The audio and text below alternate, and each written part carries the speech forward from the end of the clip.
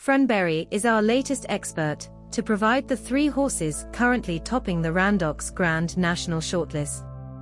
Corach Rambler It looks like the Sunday horses have taken over the bets. But it's hard to get away from Corach Rambler, although I'd love to see another Irish-trained winner.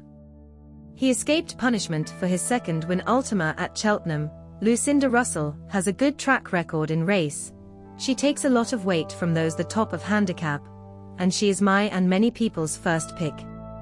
Capodanno is a horse I'd love to see him run again, before he goes to Aintree.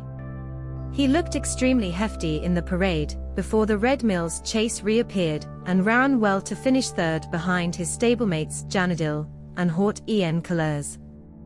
Given that he was an impressive winner of the first rank recruit chase at Punchestown last spring and beat Lifetime Ambition, 160 seems like a rating he can handle. If he had made another trip, I would have been very fond of him.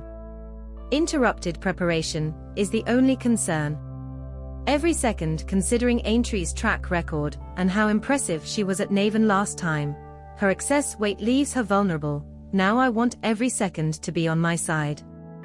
He should be prepared for another big run.